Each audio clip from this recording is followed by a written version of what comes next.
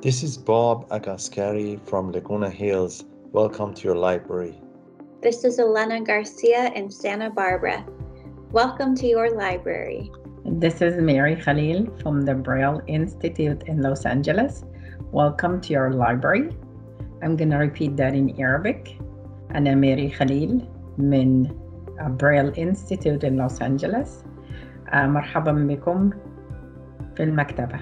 This is Julius Ancha from San Diego. Welcome to your library. This is Saran Aitayan from Los Angeles. Welcome to your library. Now I'm going to say in Armenian.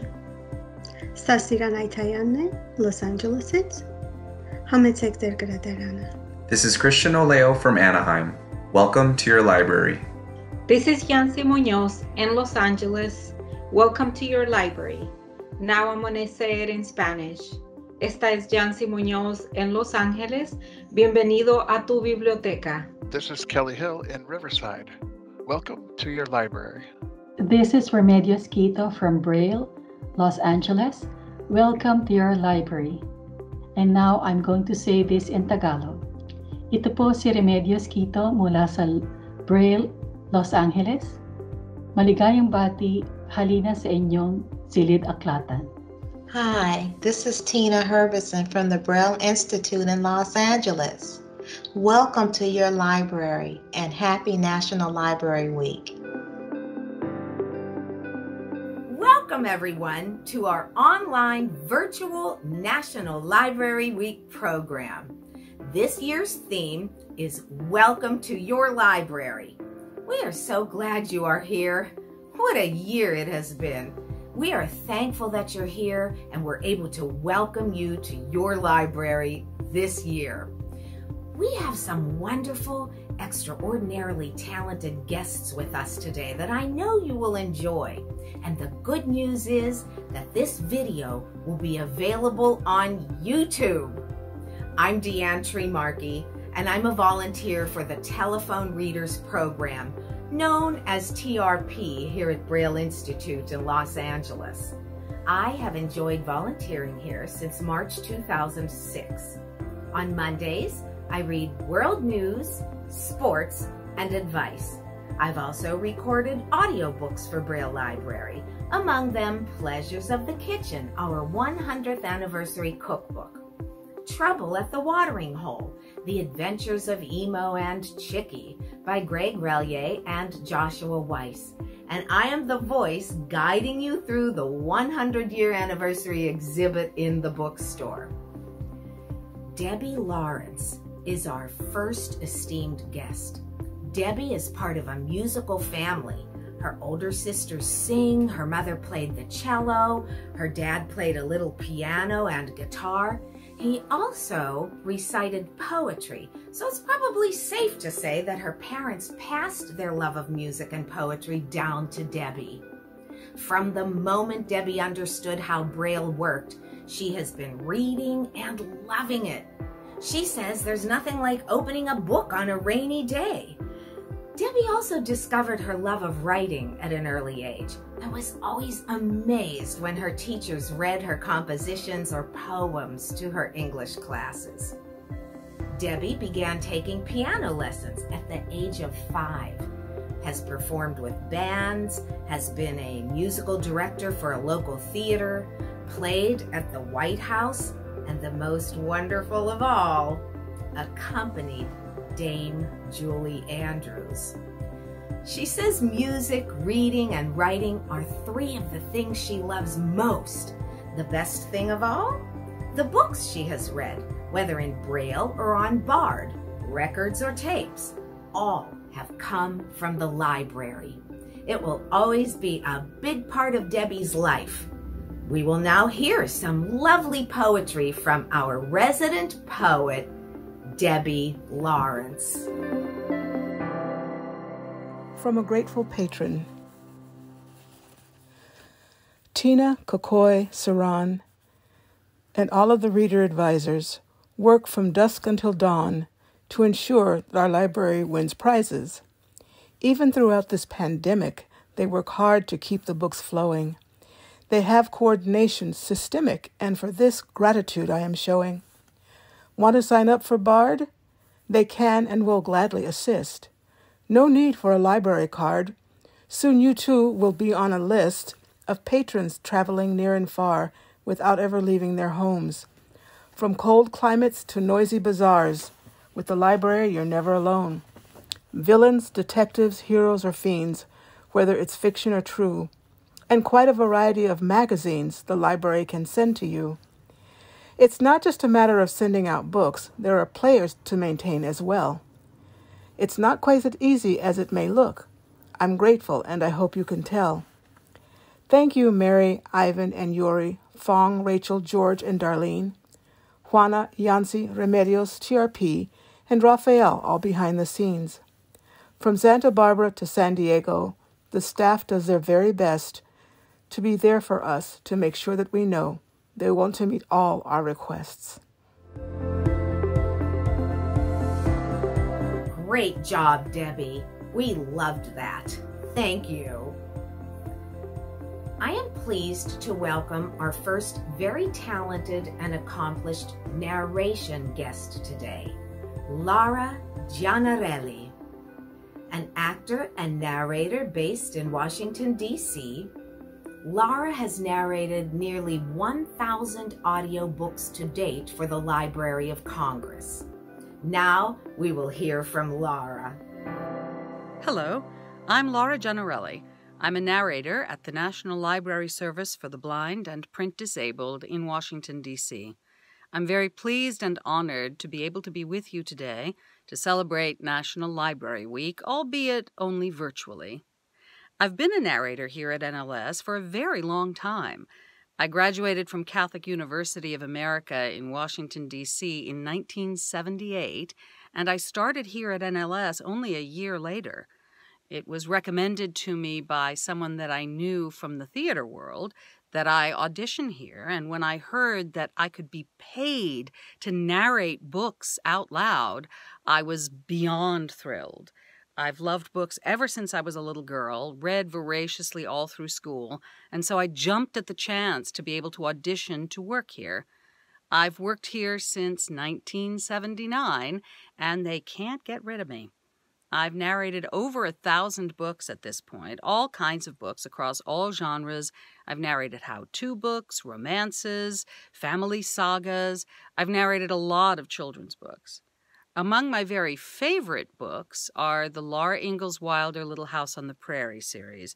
I feel very fortunate to have been able to narrate the whole series, and I also narrated Pioneer Girl, which is a sort of a scholarly look at all of Laura Ingalls Wilder's life and her books.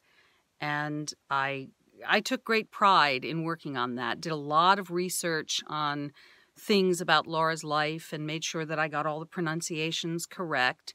And it's been um, very rewarding because I hear from time to time from patrons who have listened to the recordings and liked them. And that means the world to me. Um, I've also narrated a lot of other classic children's books. I narrated Secret Garden, A Little Princess, Little Women. And I've narrated modern kids' books too A Series of Unfortunate Events by Lemony Snicket, the one that was made into a movie with Jim Carrey. I also read all of the Eloise books about the little girl who lives in the Plaza Hotel in New York City. I haven't, of course, only narrated children's books. I narrated a lot of wonderful, wonderful literature over the many, many years that I've worked here. Um, things that come to mind specifically are Joyce Carol Oates' books. I narrated a lot of her wonderful, very complex novels. I narrated a wonderful nonfiction book by Sir Michael Holroyd called A Strange Eventful History about the lives and families of those two uh, towering figures in the British theater Henry Irving and Ellen Terry. That's a really wonderful book, which I would highly recommend to anyone. Um, I've read all kinds of stuff.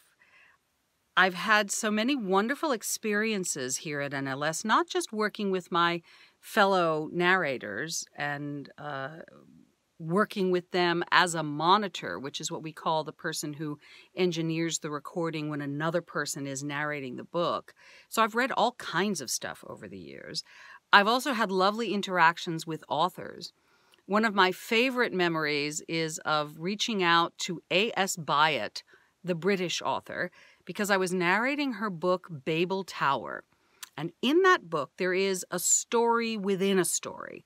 And in this little novel that one of the characters in the book is writing, there are all these characters whose names could either be pronounced in a French way, which made them kind of naughty and have a double entendre, or in a simple English way, which wouldn't make them naughty. And I wasn't sure what the author intended this was back before the internet was such a big part of our lives. So I called the publisher, I got in touch with the editor. The editor got in touch with uh, A.S. Byatt's agent.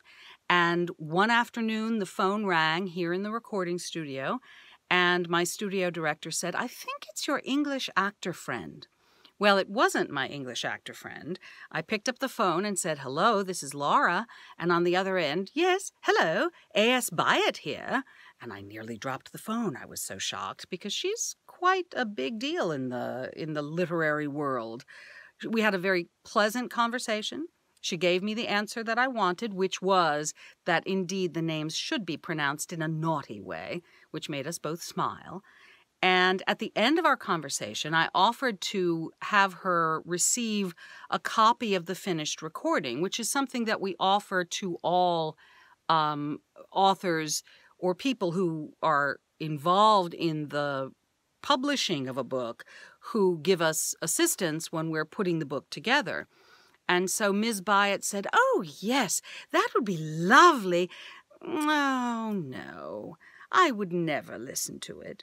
And I, I felt a little embarrassed for a moment. And then I thought, well, of course, she wouldn't want to listen to it. She wrote the thing, she knows every atom that's in it. She doesn't need to hear me read it. But uh, it, it sort of put me in my place, shall we say. Um, another story that actually comes from a book that I worked on as an engineer, as a monitor, rather than as a narrator. A very, very long time ago, a narrator who worked here named John MacDonald was narrating a book called Malafrena, which was a science fiction book written by Ursula Le Guin, the famous, famous writer. And in the book, there was a language in, a, in this foreign language that Ms. Le Guin had made up. And John had no understanding or no idea of how she wanted these things said. So, again, this was long before the internet, but he called the publisher, called the agent, got her phone number, called her up, and they spent an hour and a half on the telephone figuring out how the language in Malafrena would be pronounced. And the funniest part of the story is that when he first called her, she was like, Oh, oh, I never thought about how it would be said out loud. So together, they worked out how this language should be pronounced out loud, which was kind of very exciting for all of us involved. I think I would also like to say that my interactions with talking book patrons have given me a lot of pleasure over the years. I meet patrons both when they come to NLS on a tour or also when I've traveled around the country to various libraries in the NLS uh, regional library system, and I meet patrons and hear how much the work that we do means to uh, the patrons who use talking books, and it gives me great uh, satisfaction to know that I've played a small part in that recreational reading that people do that can mean so much to all of us who love to read. I've been asked to read a bit of something, and so because we have all spent most of the last year in lockdown in our homes, and I don't know about you, but I've done a lot more cooking than I normally do. It occurred to me to read from a book that I narrated several years ago called American Food Writing. It's a compilation of excerpts, essays, poems, and lots of recipes from all across the centuries of cooking in America. So, what I'd like to do is read part of an essay that made me smile and made me think of all of us at home this last year busily cooking. So, this is from Laurie Colwin, and it's called Kitchen Horrors. Awful things happen in the kitchen all the time, even to the most experienced cooks. But when it happens to you, it is not comforting to know that you're supposed to learn from your mistakes, especially when you contemplate the lurid looking mess in front of you. I myself have never made a spinach pie, and therefore I have never had the thrilling opportunity to see one catch on fire. Therefore, I have never watched my husband place his large, wet hiking boot on top of my flaming puff pastry to keep it from burning down the house. But this did happen to a friend. More mundane things happen to me. Half the cake sticks in the Bundt pan. The pudding won't unmold from the pudding mold, and when it does, half of it is melted. A really first rate disaster passes into legend. My sister and I have never forgotten the salmon loaf our mother, an excellent cook, made when we were little. By mistake, she reached for the cayenne pepper instead of the paprika.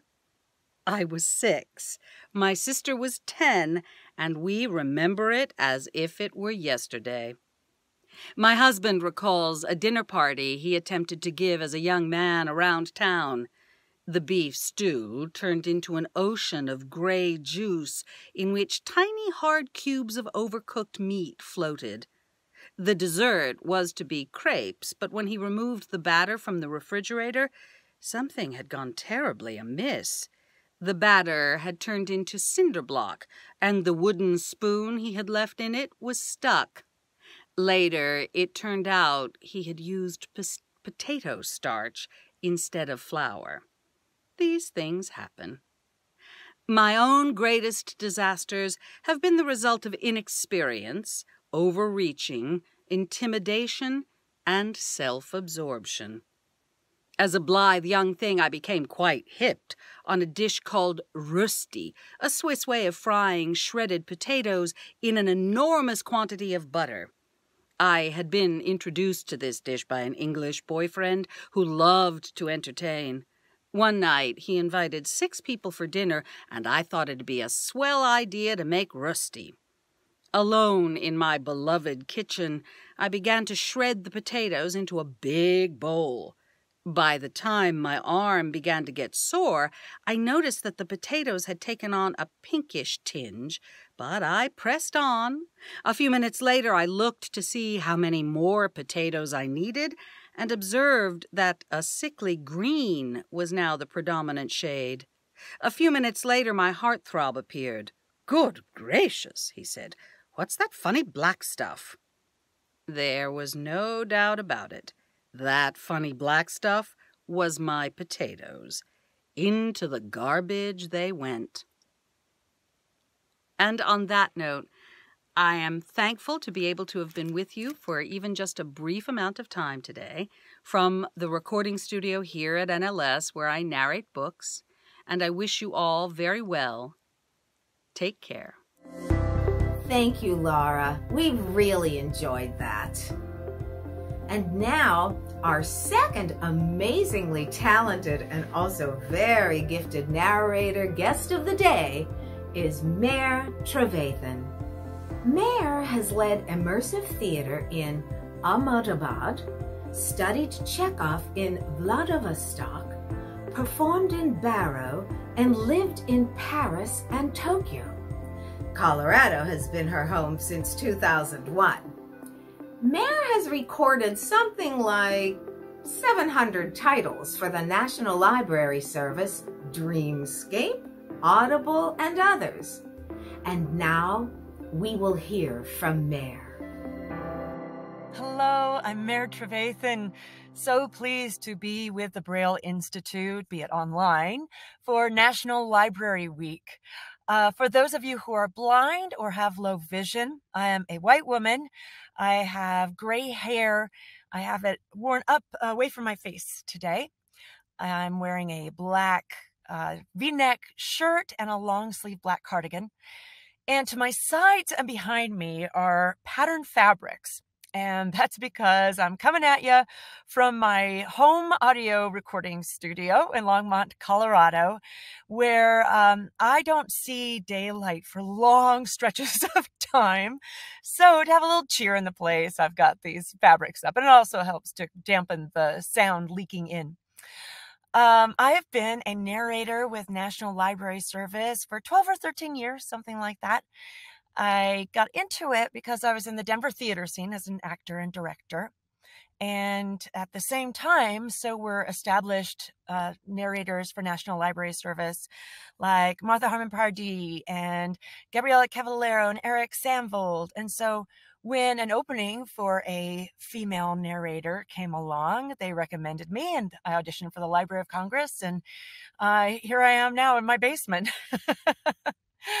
I actually think that this transition um, from stage to audio books is a really lovely thing to happen for an actor because I get to play all of the roles and I don't have to spend any time in hair and makeup. Uh, I don't have to worry about my costume. Um, so it's it, it really is a blast. I do miss live audiences. Um, uh, since March of 2020, I moved everything to my home audio studio, where previously I at least had had uh, an audience of one, a cohort um, who was reading along with me, making sure that I had everything word perfect and was pronouncing things uh, correctly and punching the buttons, uh, being a sound engineer. But um, with COVID, uh, everything now happens here in my my basement studio, and I sure do miss being able to. Um, I'm a crier. I'm just I, I have been all my life, and so if I'm reading a beautiful book and I'm moved, I feel a little embarrassed sometimes. I'm crying, and then I'll look out across the glass separating me from that monitor, the sound engineer, and see that they too, of course, are having the same reaction, and I'll feel much better about uh, the the uh, the state of humanity, if you will, um, and so I've I've I've missed being around humans most certainly one of the sole reasons that I'm on Facebook is because it seems to be where Bard and NLS listeners will find me. Um, so I'm going to spell my name in case you want to reach out there. This is not fishing for compliments, but uh, if you feel like letting me know what you're reading, what you're interested in reading, what you didn't like reading, I love hearing from you. It's uh, M A R E T R E V A T H A N. I've read mm, about 700 books, and I mean, narrated about 700 books. And though that's nothing compared to, for example, the three narrators who I previously mentioned, um, it is enough that for my brain, I mostly take the words in and they come out of my mouth, and none of them stick. in the brain area. So um, when people ask me about recommended books or favorite books, I, I get a little, a little stymied. Um, so I did take a look at a list of things that I've narrated through the years. All of these would be found on Bard or in NLS. And these are ones that really did stick out and wouldn't necessarily have been on anybody's radar, as I don't think that they were major award winners or bestsellers, but were lovely little book. So I'm going to give you just a few titles here in case you're interested. 12 Tales, no, sorry, 12 Tribes of Hattie, H A T T I E. The Enchanted Life of Adam Hope.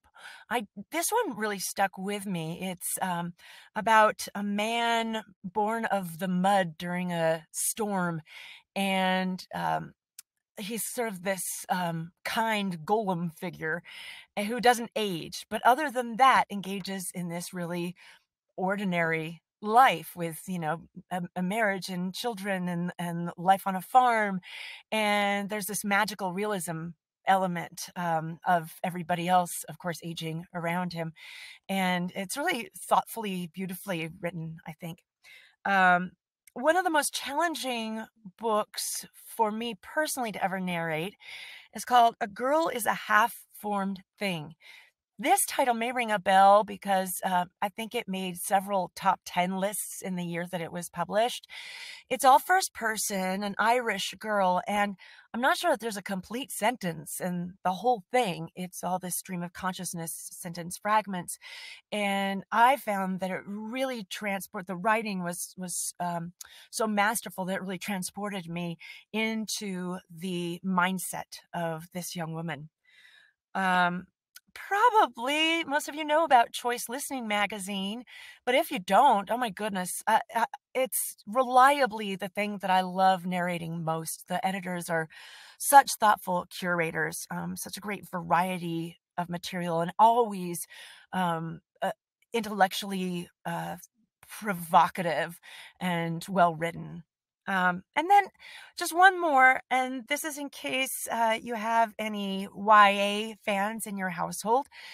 There is a superhero series called Dreadnought, D R E A D N O U G H T, which is about a transgender superhero. And talk about representation matters and how, um, you know, there's so many voices that have been marginalized and practically ignored. And um, this is a delightful series of books. Um, so I encourage you to take uh, take a look at that. I'm going to read just a couple of things uh, today. The first one is from a book that I'm currently narrating here in the basement. Uh, it's called The Enigma Game, and so it'll be it'll be out soon. It's set in World War II in Britain. What did you show that man? I asked. I was supposed to help her with her papers, and here was something she'd kept to herself. The old woman gave a slow, shy smile, as if she were the one who was a bit embarrassed this time. Hmm, British passport. More ordinary than mine, even. The smiling photograph, pasted inside, was definitely a recent picture of the person sitting next to me. At least, it wasn't taken so long ago you couldn't tell who it was but the name read clearly Jane Warner, British subject by birth. It also said she was a musician, and it said she was born in Aberdeen, in Scotland, in 1868, ten years later than the date on Johanna von Arnim's alien registration card. You can call me Jane, said the old woman. It's what I call myself. I stared at the lying document then looked up at the person who called herself Jane. The shy smile was gone. She watched me seriously, trusting me with a secret. How did you get this? I demanded. It came out sounding very stern, and her thin shoulders cringed a little. Perhaps she was expecting me to take it away from her. That's what they'd have done at Rushen camp if they'd known about it. It was my husband's, she said defiantly. I kept it when he died. It wasn't until I was already locked up in that miserable place that I started fiddling with it. Of course, they knew who I was, but I've called myself Jane Warner since the early thirties. And who doesn't look forward to a better life ahead? I thought I should be ready if the chance arose. It was simple to fix. A razor and ink is all it took. Rubbing the raised stamp onto the photograph was the difficult bit. She was more of a rule breaker than I'd realized. And this second selection is from the wonderful online publication McSweeney's.net. And this is called It's Just a Beach Read by Madeline Trebensky. Oh, this? Uh, it's just a beach read. I honestly don't know how it got into my tote bag. I'm pretty sure it's not even mine.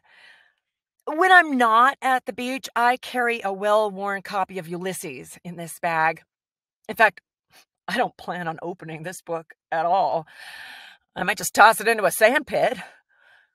If I do decide to open this frivolous beach read, ironically, of course, I can assure you that its pages will only ever see hot summer sunlight beating down upon them, for they are not worthy of the cool, fluorescent light of a true intellectual space.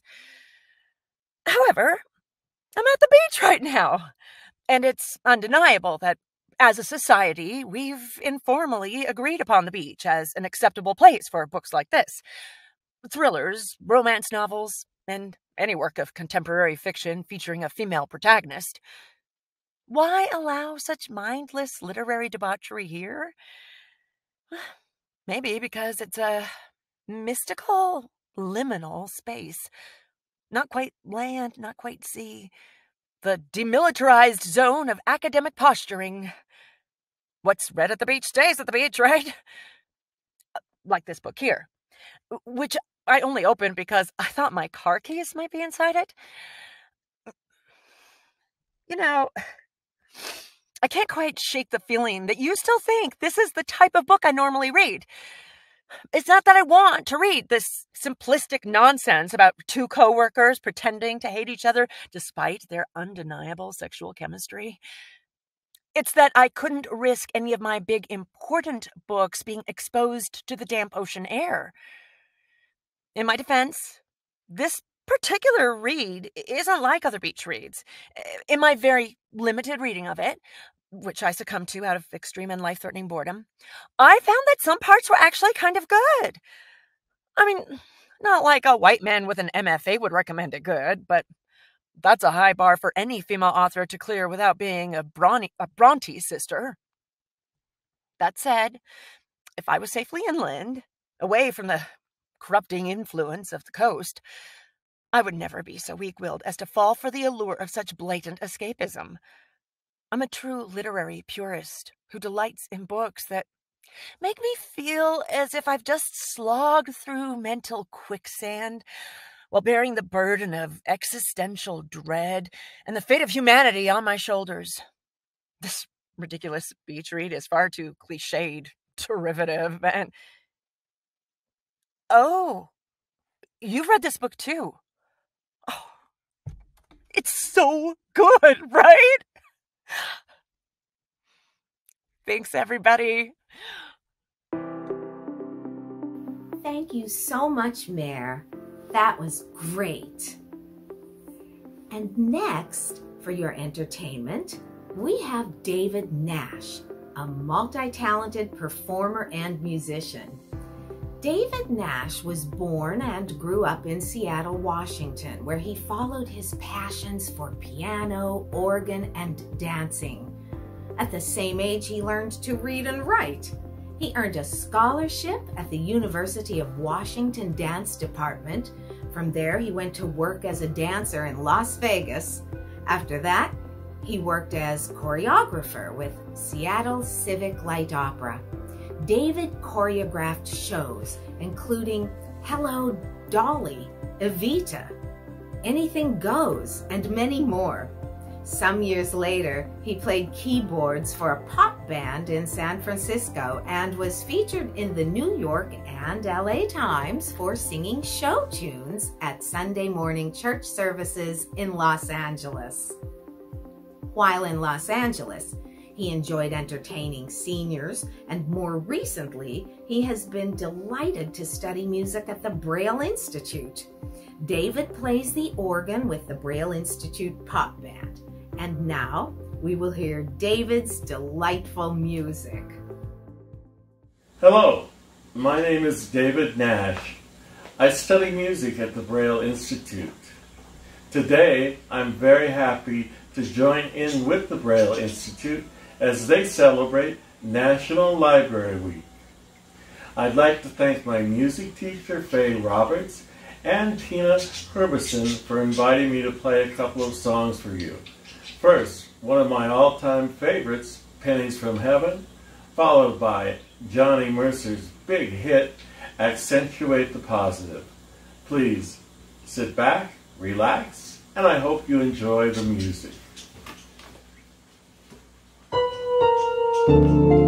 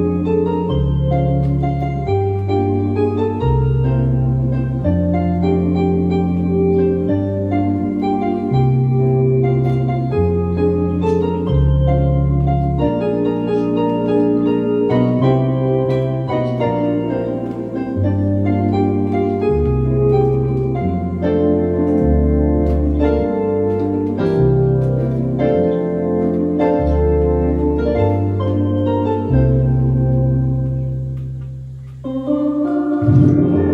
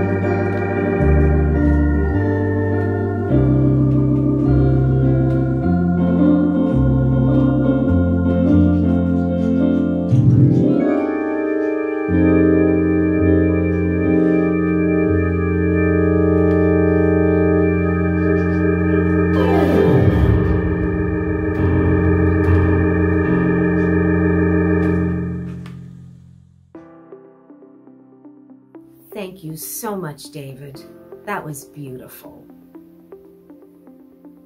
Our National Library Service could not function very well without a dedicated, hardworking, and brilliant Assistant Chief for the Patron and Network Engagement Division. I am pleased to introduce Stephen Prine. Stephen Prine is the Assistant Chief for the Patron and Network Engagement Division for the National Library Service for the Blind and Disabled, Library of Congress in Washington, D.C. He has worked as a network consultant of National Library Service for the Blind and Print Disabled in D.C. He was the director of library services for the blind and physically handicapped at the South Carolina State Library in Casey, South Carolina. Stephen has been both librarian one and two for the South Florida Regional Library and Florida Regional Library for the blind and physically handicapped in Daytona Beach, Florida, respectively. Stephen has co-authored with Jane Calton an article entitled Library Service for the Blind and Physically Handicapped, which was published in the online edition of the Encyclopedia of Library and Information Sciences, 4th edition. He has also co-authored with George Thoroni they wrote an essay for the National Library Service for the Blind and Physically Handicapped, which was published in the Encyclopedia of the Library of Congress. That article was published in February 2005. Welcome, Stephen. Hello, my name is Steve Prine. I'm the Assistant Chief of the Patron and Network Engagement Division at the National Library Service for the Blind and Print Disabled which is part of the Library of Congress. I was asked to speak today about the future of NLS and its network of cooperating libraries and the service to eligible readers throughout the country. But to talk about that, I need to talk about the past first. There was no national program for blind individuals up through the early 1930s. But in the late 20s, the blind community began to lobby Congress in support of such a program. And major organizations serving the blind, the American Foundation for the Blind in New York, the American Printing House for the Blind in Louisville, Kentucky, and the Braille Institute of America in Los Angeles, California, also lobbied.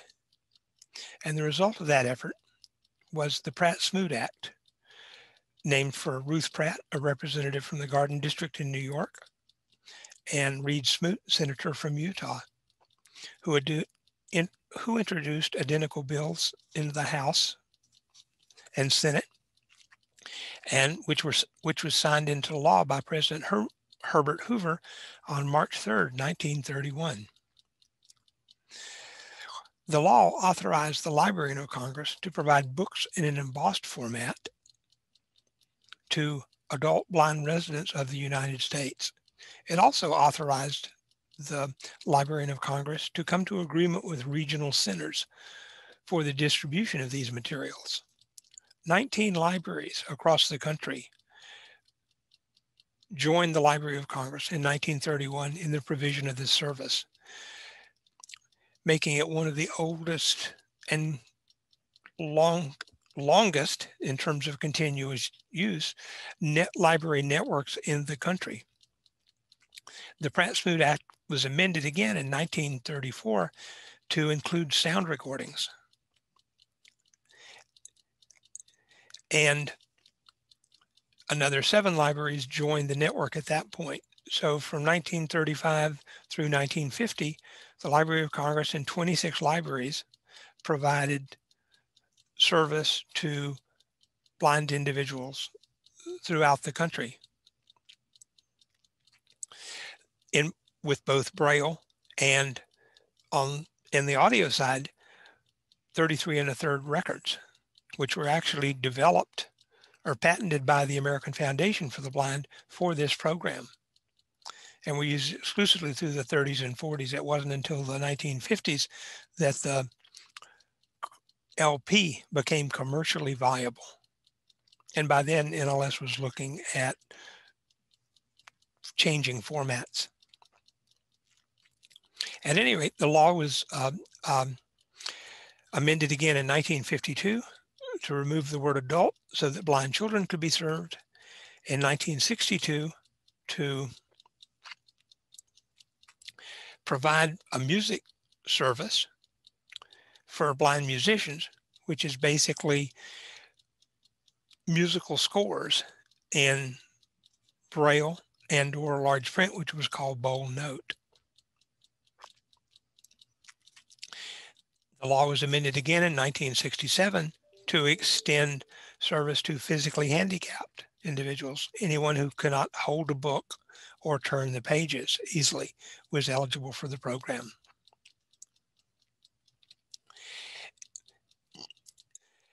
NLS moved from the records to an analog cassette format in the early 70s and began to provide books on cassette at special speeds and playback equipment to network libraries to provide to readers. And books on cassette were provided for really 40 years until we began to move to the, the current format, which was a digital format. NLS knew in the early 90s that a change needed to be made and began to look at what could be done it was it was easily agreed that digital recording was what we wanted to do, but the the format that would be used was still in question. At that time, there were six different formats. There were compact disc, um, digital audio tape, digital compact cassette, DVD, mini disc, and flash memory. Of those six, flash memory was the most expensive, with a megabyte of memory costing approximately $25,000.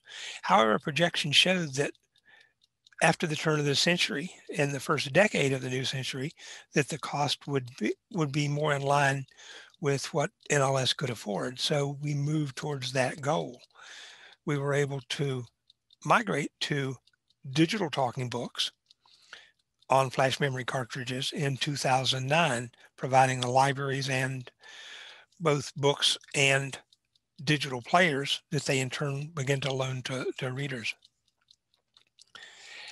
And that really emulated the previous change from record to cassette and then cassette to digital.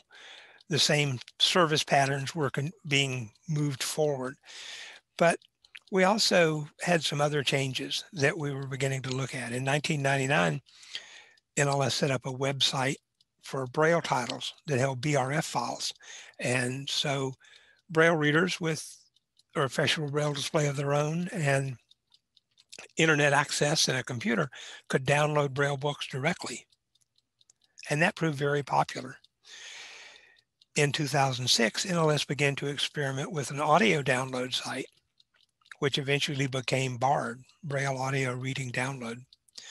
It was open to all NLS readers in 2009 when we began to provide digital players to, to the network. but we've continued to improve on BARD and expand it. Um, we introduced an app for iOS devices. So readers with, with their own iOS device could actually get the app, download books directly to, to their device. And then an Android device app so that people with Android devices could do the same. In 2013, we merged the Braille website and the audio website into one. So our truly became the one-stop for service for both Braille and audio books and magazines for network readers. Today we have 121,000 plus books or audio books on BARD with some 9,000 of those titles being provided by network libraries, local recording programs there are probably 18,000 magazines divided pretty evenly between audio and braille. And we see that as a way of, of, of, serving readers. As we move forward, we've also introduced duplication on demand, which allows a library circulation system rather than printing a mailing card to be put in placed in a book and put into the mail to actually record the title or titles onto one cartridge and then print a mailing card so the card and the cartridge could be put in a mailing container and put into mail. And this has been a great deal of change at the at the library level in terms of processing books, but it also meant that libraries don't have to continually pull from shelves, send, reshelve. So that that effort is certainly going away. So, and it's worked well for readers because they get multiple titles on one cartridge. It's worked well for the post office because there are fewer cartridges in the in the mail stream at any one time. And so we see this going forward as a way for most of our network to provide books. Currently, we're a little over, we're almost at two thirds of our network libraries using duplication on demand. We hope within another 12 months that that all of the libraries will be will be using it. Our law was amended, has been amended again in 2016 to remove the word sound before reproducers in um, our law so that by taking the word sound out, we could then actually provide refreshable braille displays. And so we began a process of contracting to acquire refreshable braille displays, which we are calling braille e-readers. And in the late summer of 2020, we started a pilot with regional libraries in each of the four uh, conferences with phase one. And in another month, we expect to start a phase two with library with additional libraries in each of the four conferences with a second e-reader device. At the end of the year, we hope to be able to make a decision as to which of these devices or both we'll move forward with. And in FY22, begin to purchase Braille e-readers in quantity. Our goal is to provide them to network libraries the same way we provided digital talking book machines or audio players and libraries in turn will then use those to provide Braille service to readers. Either uh, the reader will download materials directly or the library will will put books on BRF files onto a cartridge and mail them out through the mail. in 2018, the United States signed the Marrakesh Treaty. And so our most recent change of law is to bring our um, our authorizing legislation into line with the Marrakesh Treaty language so that NLS as, a, as an entity can both borrow and lend material with libraries in other countries and in other languages. So to date, we probably have 95 audio titles and 10 Braille titles from other libraries on BARD, but this number will expand exponentially in the next few years. We're also looking at the, the feasibility of smart speakers being used to access books. Our real goal going forward is to provide eligible readers with a variety of ways to access our books and magazines in a way that works best for them and to cut down on the workload at our network libraries. But at the same time, our network libraries provide will play an ever more important role in terms of service, in terms of uh, provision of, of playback equipment, audio or braille, in terms of technical support for equipment, audio or braille, in terms of reader advisory service for um, patrons, and for um, outreach activities. Going forward, we see patrons really kind of falling into two categories. Independently linked patrons who use BARD on their own directly, or library linked patrons who are getting the benefits of BARD and all it has to offer through their regional library or their network library. And so that's our goal going forward. In March 3rd, 2021, we celebrated our 90th anniversary, and the services we provide today are light years ahead of what was provided in 1931 or even 1935.